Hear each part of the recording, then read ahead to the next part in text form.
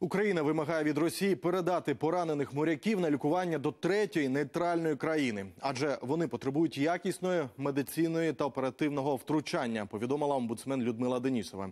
Щоб домогтися зустрічі з військовополоненими, вона звернулася до комісара Ради Європи та військовопосадовців РФ.